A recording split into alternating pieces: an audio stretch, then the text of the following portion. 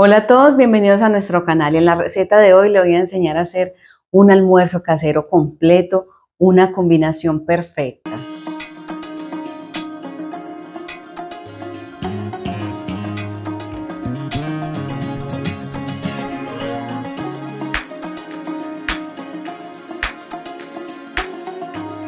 Entonces no sabe qué hacer para el almuerzo, por eso decidí traerles una opción de un almuerzo completo casero donde usted le quede completico, o sea, bien delicioso, fácil, ingredientes básicos. Entonces, si está pasando por aquí todavía no se ha inscrito, no se le olvide inscribirse, necesitamos mucho el apoyo de cada uno de ustedes. Entonces, este almuerzo casero vamos a hacerlo con pollo, vamos a hacer una ensaladita de papa bien deliciosa, básica y un arrocito blanco perfecto, bien sueltecito. Entonces, vamos a comenzar con un proceso aquí Aquí yo ya tengo la pechuga. Yo la partí así en filé. ¿Y qué hice yo en ella? Yo le coloqué limón, la lavé con limón para quitarle ese olorcito del pollo. Yo le dejé aquí limón, le retiré el exceso, dejé un poquito para, porque la vamos a condimentar, incrementar sabor. Entonces vamos a comenzar a incrementar el sabor. Aquí yo tengo tres dientecitos de ajo. Yo los tengo picaditos. Usted los puede rayar como usted desee. Vamos a colocar ahora pimienta negra que incrementa bastante el sabor. Yo les doy una base.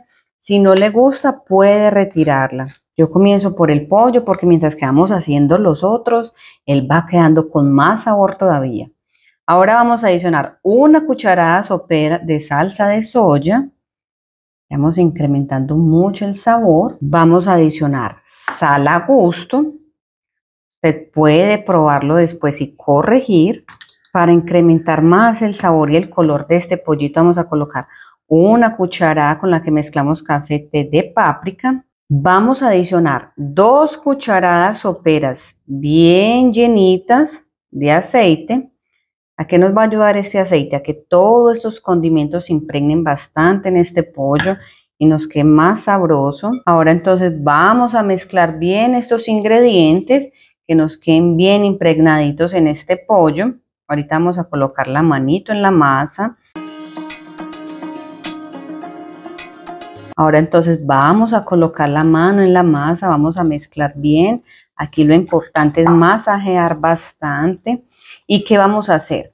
Si usted tiene tiempecito ahí en casa, va a dejar esto con estos condimentos más o menos media hora, una hora y ella va ganando más sabor. Usted lo puede cubrir con una tapita, lo mete a la nevera y más sabroso él va quedando. Vamos a impregnar bien todo esto.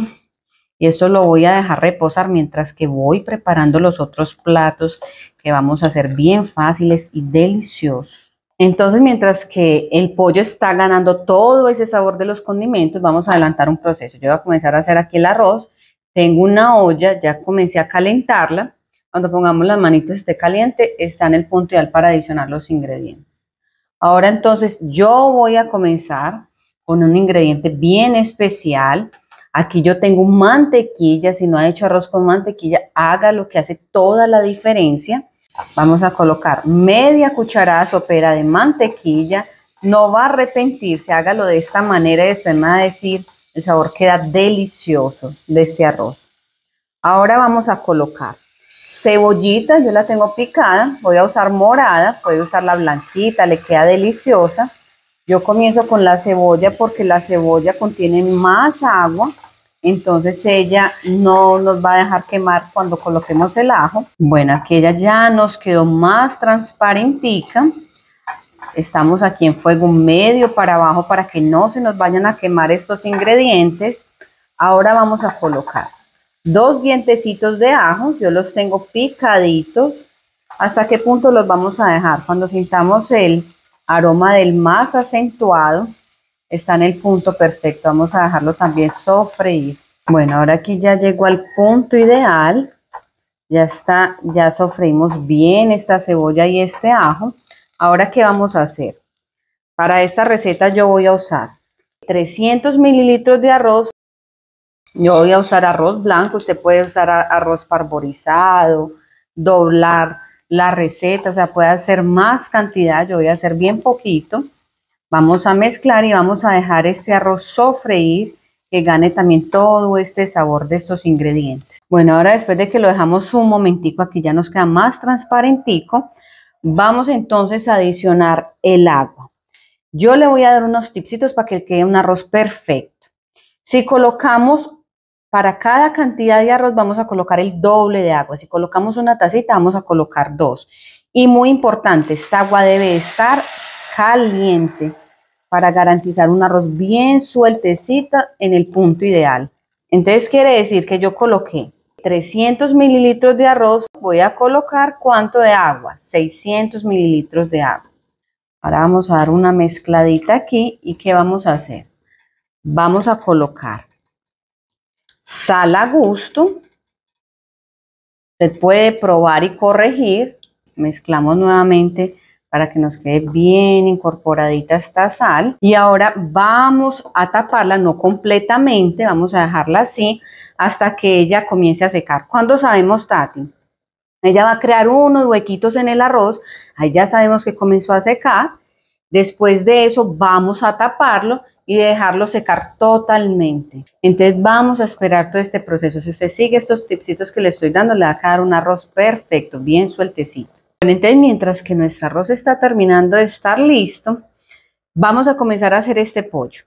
Aquí yo ya coloqué aceite y coloqué un poquito de mantequilla para darle más sabor. Está calientico. Ahora vamos a coger cada uno de estos pollitos que ya retiramos de la nevera, ya ganaron bastante sabor y vamos a colocarlo en harina de trigo. ¿Para qué vamos a hacer esto? Porque esta harina de trigo nos va a ayudar a este pollito a ganar más una crocancia, a crear una costrica, entonces nos va a quedar estilo restaurante, bien delicioso. No vamos a panar, sino solo que eso le va a ayudar a crear esta costrica deliciosa. Es algo bien fácil. Vamos a pasar por todo. Aquí ya está listico, retiramos el exceso, miren cómo nos queda. Y vamos a ir colocando aquí en fuego alto, muy importante, y no lo vamos a mover, dejémoslo ahí y vamos a ir haciendo este proceso con todos.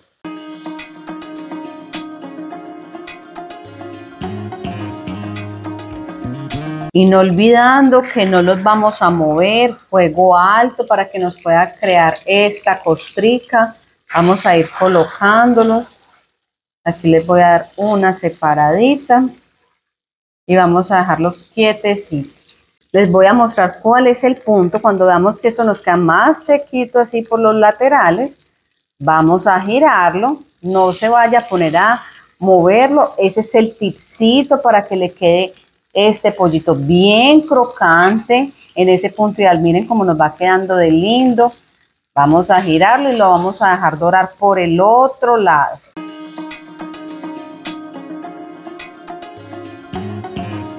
Mientras que nuestro pollo está quedando listo, ahora vamos a preparar una ensalada bien básica. Yo comencé a adelantar un proceso, tengo aquí papas, usé tres en total, las piqué en cuadritos, yo ya cociné para adelantar ese proceso, más rápido el video. Y al igual que lo hice con la zanahoria, también están cocinaditas, están en el punto, en un punto que no está ni muy suavecito, ni muy duro, es muy importante porque a medida que vamos mezclando estos ingredientes no se nos vaya a volver un puré de papa. Ahora entonces vamos a comenzar a colocarle condimenticos aquí para acrecentar ese sabor. Yo tengo aquí mayonesa, yo le voy a colocar tres cucharadas soperas de mayonesa. Vamos a adicionar cebollita de rama a gusto para incrementar el sabor y el color de esa ensaladita. Cilantrico a gusto también para incrementar este sabor. No me gusta el cilantro, puede cambiarlo por perejil y le queda perfecto. Y ahora le voy a dar un toquecito especial con cebollita, voy a usar morada, la tengo picadita en cuadritos, puede usar la blanca, eso le da un toque más delicioso y realza más el sabor. Sal a gusto. Estas papitas y la zanahoria la cociné con sal, pero voy a dar una corregidita para que nos quede bien delicioso. Y ahora vamos a mezclar todos estos ingredientes. Esta ensalada va a combinar perfectamente con nuestro almuerzo, va a quedar deliciosa. Usted ese almuerzo lo consigue hacer en total en 30 minutos. Él es perfecto.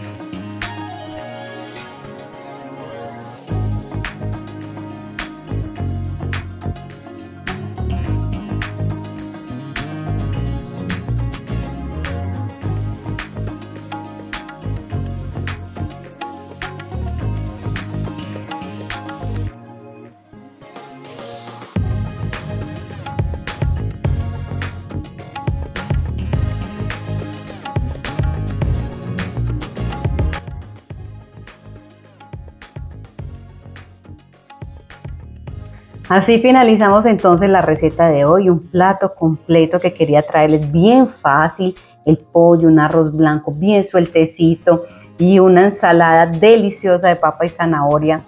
De verdad que quería mucho traerles porque es algo bien práctico, generalmente pensamos que vamos a hacer de almuerzo, pues esta es una excelente alternativa. Entonces, si nos está viendo y todavía no se inscrito, aproveche ya y se inscribe al canal. Cada uno de ustedes es muy importante para nosotros. Dele me gusta a esta receta para que pueda llegar a más personas y así yo poderles traer más videos y active la campanita para que no se me pierda ninguna notificación. Entonces yo les voy a contar un secretico. Este aquí es mi almuerzo. me voy a despedir por aquí, me voy a quedar almorzando y nos vemos en la próxima receta. Chao.